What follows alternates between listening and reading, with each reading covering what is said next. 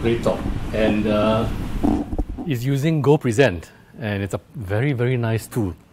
And uh, if you'll excuse me, I'll sit down because I'll actually run my presentation. You'll see in a while. so my name is uh, Siu Yin. I work for a tiny consulting firm, Beyond Broadcast, and we write backend servers for broadcast operations. But anyway, the, the purpose of my talk is this hype about microservices. Um, how do we get there? And how do the services talk to each other? In the beginning, there was the monolith. And this is a monolith. Um, like any Go program, you have a main package declaration, which means this package runs. And I've declared a function called sum. And all it does is add two numbers, return a plus b. That's all it does. So let's run this presentation.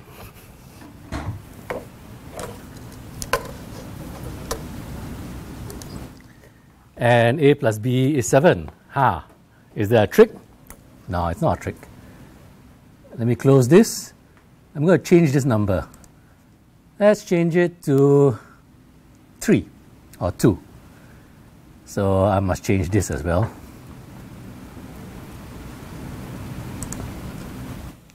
The sum of 3 and 2 is 5. Wow, it's live. What's happening here? My browser is talking to a Go backend. This Go code is actually being compiled on the fly. So it really feels like a scripting language. And it's presented on the browser. Uh, program exited means it's finished the program run. Now, there's absolutely nothing at all wrong with monoliths. Uh, I started my career writing backends in monoliths, um, and I always feel that things that are related should be together. Birds of a feather should flock together. So nothing wrong with monoliths, but there are issues as well. So let's see what monoliths cannot do. And the first thing I'd like to talk about is RPC, Remote Procedure Call. In the Go standard library, there is a net RPC package. It's there for you to use. Uh, to use it properly, you should actually define your own package. I don't like typing, so I call it NRPC for net RPC. And I export a few structures. For those of you new to Go, you see these strange uppercase things. Uppercase is significant. It means the world can see it. It's exported. So this structure contains two elements, A and B, which are also exported, and they are integers. And I have a arithmetic uh, type, which is a synonym to integer. So arithmetic is the same as integer. I do that for a very interesting purpose because I can declare a method on the arithmetic type. So I'm declaring a method on the arithmetic type, and that's how you declare a method in Go. So all it does is sum argument A plus argument B and return nil because Go allows you to return error values as well. So return nil for error means everything is fine.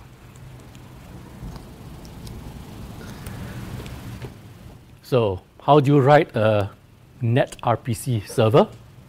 Well, for one, you use my net RPC package, which was what you just saw in the previous slide. You register it with the proper RPC package, not net RPC handle HTTP because, well, it actually talks HTTP in the background and listen to port 1234. If everything is fine, don't do anything. If something went wrong, if there was an error, show an error message. Run the server and wait forever. Select open brace, close brace means wait forever. So let's run the server. It's compiling. Why is my machine so slow during the presentation? Server's running. So let's look at the client. Uh, let me get my mouse out of the way.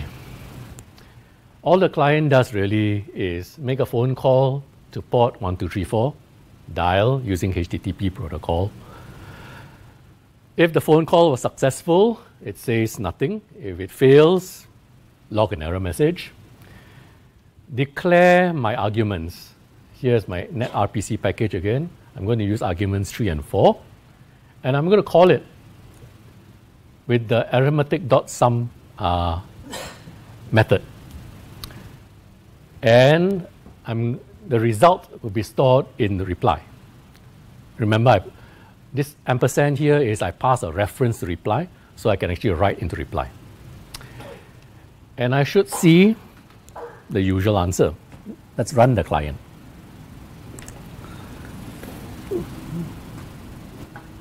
Yep, the sum of 3 and 4 is 7. Fair enough. So, what did we gain by jumping around and jumping through all those hoops? What did we gain really? The, really, the thing we really gained was separations, separation of concerns. The client is responsible for the front end, the UI, and the server for the back end.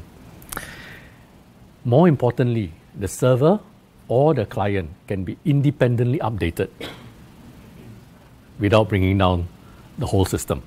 If you had a monolith, you had to take down the monolith, recompile, replace the monolith binary. Not so with RPC. Furthermore, one server can serve many, many clients. Right? If it is CPU-like, that means it doesn't use a lot of CPU, one server could potentially serve thousands of clients. On the other hand, if you're doing video encoding, the reverse could be true.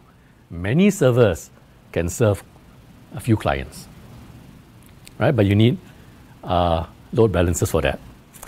So what we have really gained is independent scalability. We can scale the client and the server independently, and independent deployment as well. So when I was young, I heard there was this product from Ericsson that five nines of reliability. How could that be? That's the answer. Different parts which you can update independently. So the costs are additional complexity, and the second one is a killer the network. The network generally is unreliable. Don't trust the network. So that's the big cost you pay, but go in with your eyes open and you'll be fine. So multiple servers must be served behind a load balancer, which I didn't talk about. And in this particular case, with NetRPC, both the client and the server must be written in Go. Because behind the scenes, it uses Go native serialization. I like to think that the server and the client are very tightly coupled in this case. So there's tight coupling, which is sometimes a bad thing, my favorite pattern though is message bus. So what is a message bus?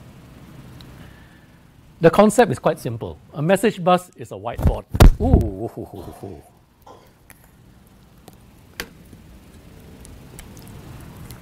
Am I still online? Okay. Message bus is a whiteboard. And it has different topics jobs, applicants, anybody with the, poten- with the correct credentials can write to the whiteboard, and the whole world, you can see it. And this is very interesting because I have a job A, applicants interested, some client can make use of this information and do something with it. So let's demonstrate the message bus pattern.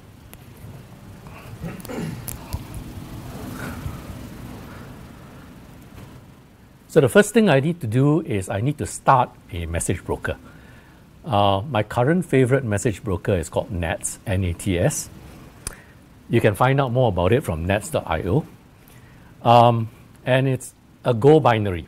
So it's a very small 5, 6 megabyte binary, I think.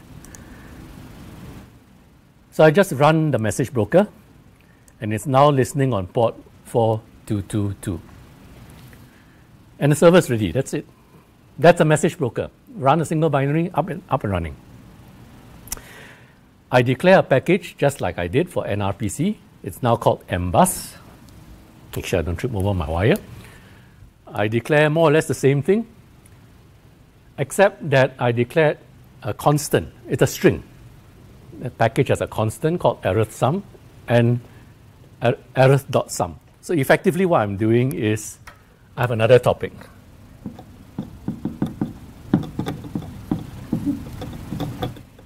So that is my topic. It's just a string.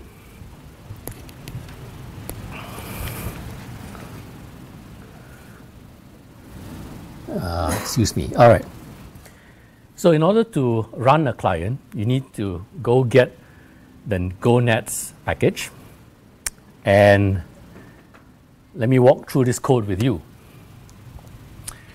It connects to localhost 4222 that is a generic connection that can pass any serialization in the world. Up to you.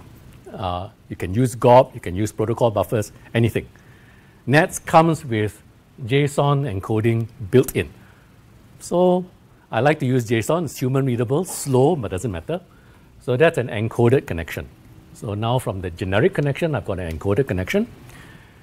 And I subscribe to arith sum. In other words, I look at this topic. I look at this topic. And I pass to it a function, a lambda. What the lambda does is it's got a subject, it's got reply, it's got arguments, and as input parameters. And what the function does is one thing it publishes re into reply as a reply type args A plus args B. Yeah, adds up two things. So and it waits forever. This, this server waits forever. I won't run the server right now. Let's talk through what it does. So, with the encoder connection, subscribe to the subject, handle messages, and reply, post it back to this reply string which I passed in. So in other words, NATS actually creates a temporary reply topic on the whiteboard. My message, the client will actually write to this. So let's run the server and see what it does.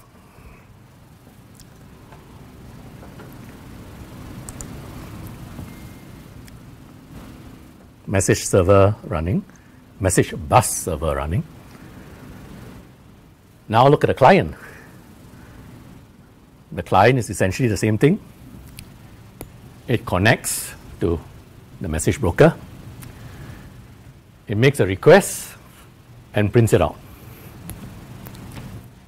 And running the presentation, the sum of 3 and 4 is 7. Ah, no big deal. Okay, what have we gained? what have we gained by going to a message bus? So as I said, NATS allows any type of encoding. If you want protocol buffers, go ahead, use it. Um, you can cancel requests if you want. There's a request with context. Ah. Ah. Okay.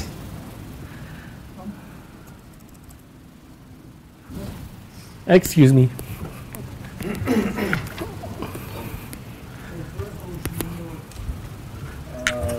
His battery went flat. I think my battery went dead. No worries.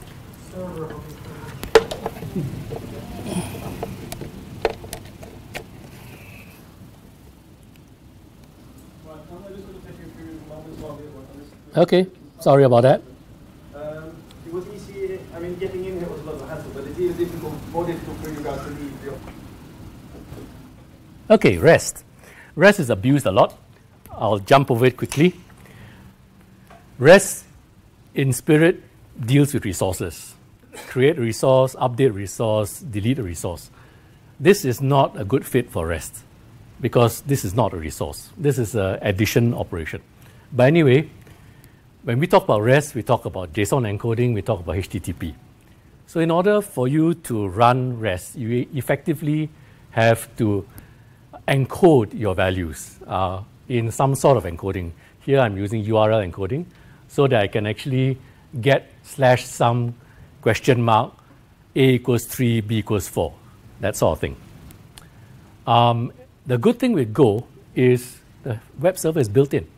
So let's run the web server.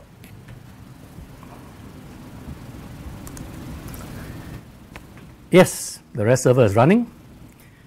And to process the parameters, you're dealing with strings.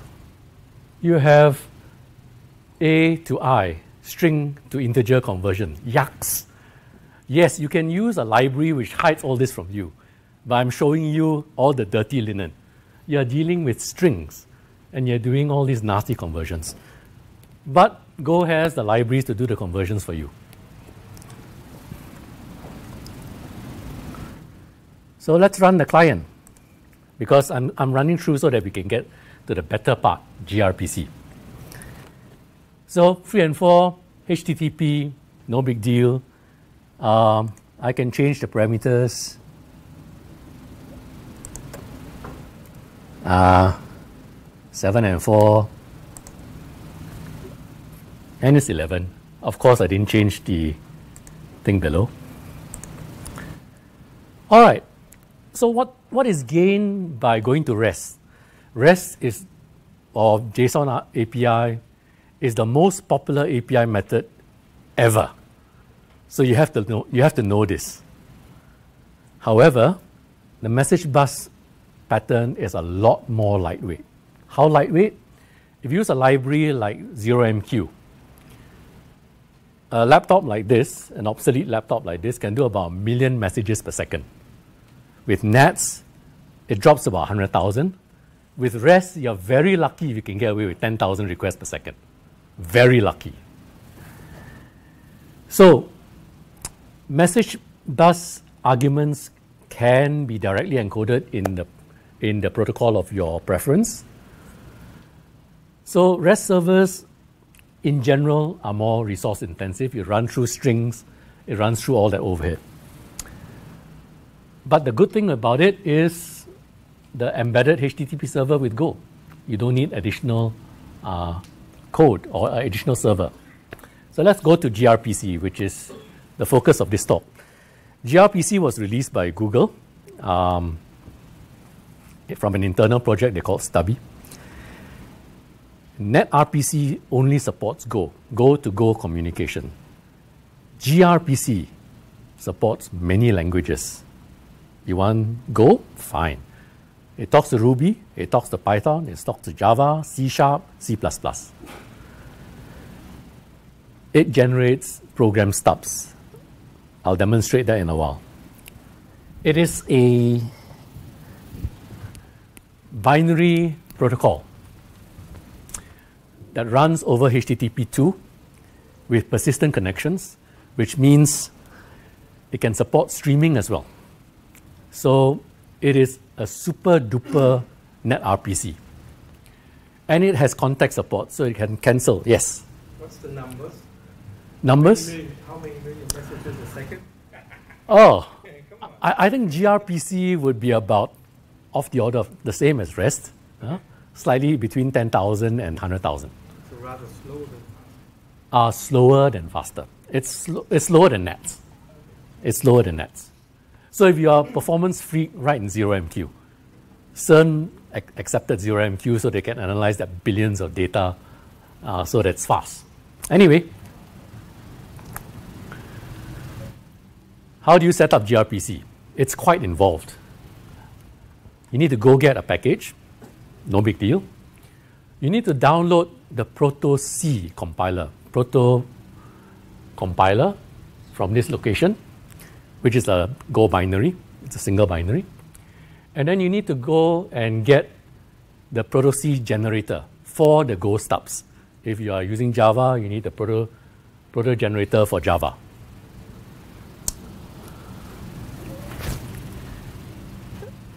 Now, remember I wrote a NRPC package and type arithmetic, you don't write that for gRPC. Instead, you write this thing, which looks very much like what we have written before. This uses protocol buffers level 3, version 3. The package name is called arithmetic, A-R-I-T-H. I expose a service called arith, and it sums two integers. It's an RPC, sum, that accepts some args, type some args, and returns a sum reply. And some args is a message type with int 32, can be float 32, can be complex. It does this so that everybody that talks to gRPC knows exactly the size and the endian. A and B are parameters. Equals 1 and equals 2 are not what you think. They are tags.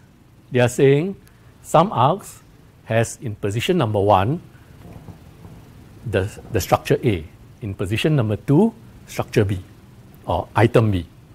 Some reply in position number 1 has an int32 called reply. And it does this for good reasons. So that when you have different generations of your interface file, as long as the tags don't conflict, you're fine, you're good. So this is very well thought out. But you can't do anything with that file. You need to compile it. So protoc, that is the file which I created, output into this folder. Let's run the compilation step.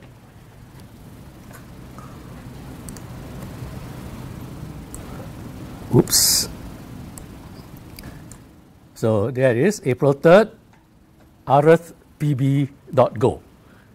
This file is generated by protoc from that interface definition file just now. So let's go and look inside this file. What does it do? Well, nothing surprising. It says some arg is a type, A is an int32, it has got some protocol buffer tags as well as some JSON tags. B is int32, some replies in int32. Nothing surprising so far. It declares an arithmetic server interface, which has a single method, sum. And it's got some registration or boilerplate.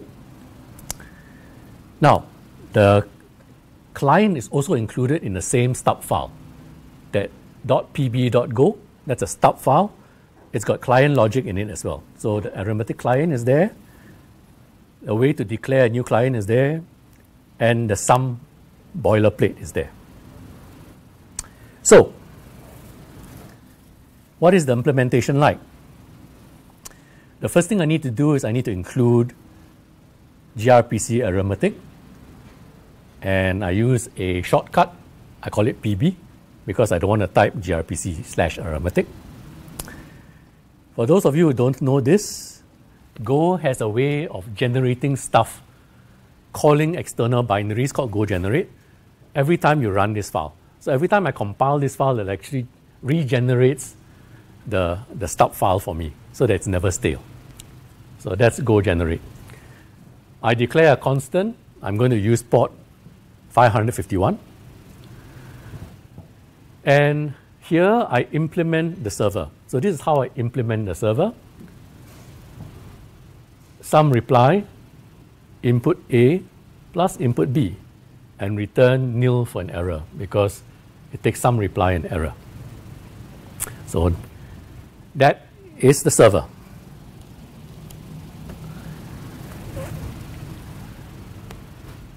So how do we actually get the server running? We have a main function here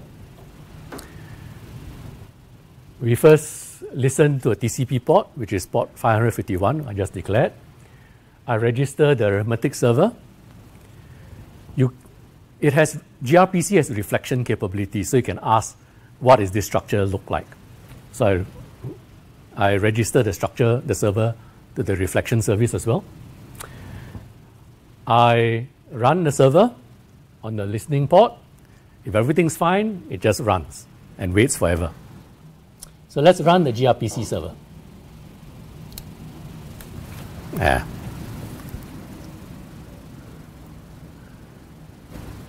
Let's run the GPR, gRPC server.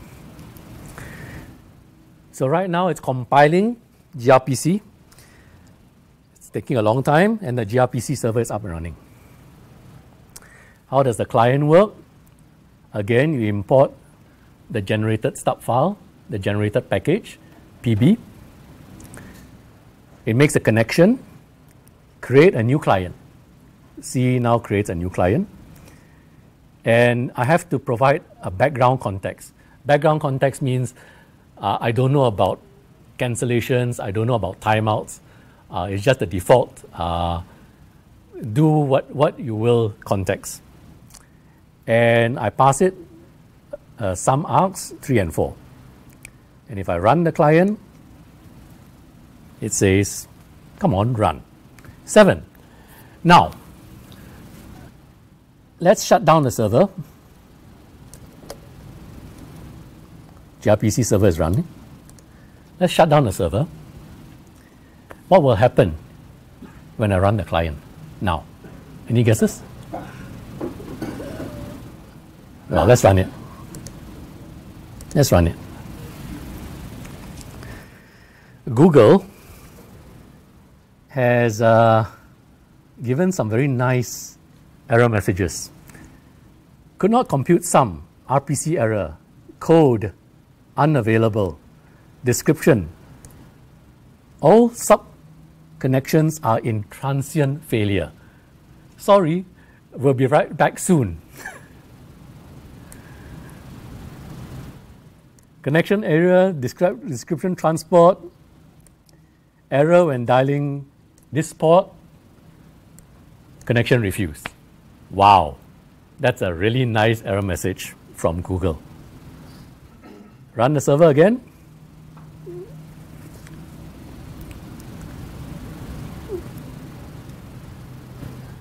Run the client again. Come on, and it's back.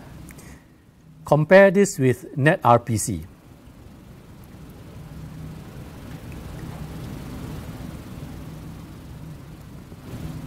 NetRPC. Okay.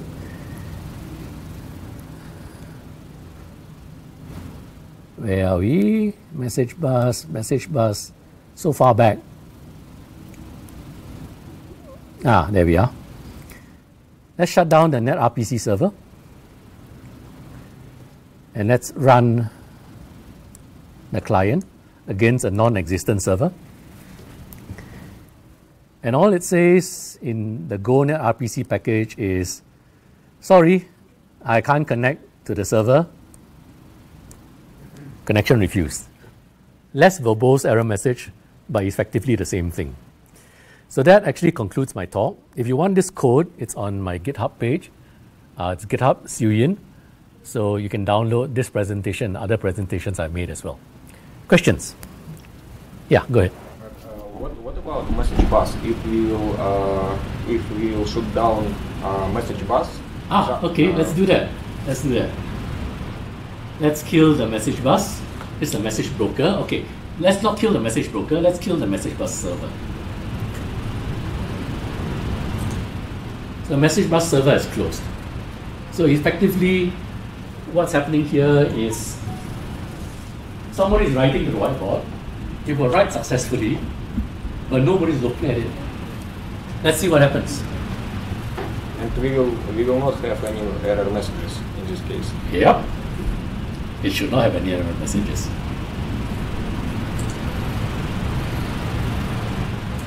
But it ah. has. Why? Let me show you. I said, if you don't get a reply within one second, uh.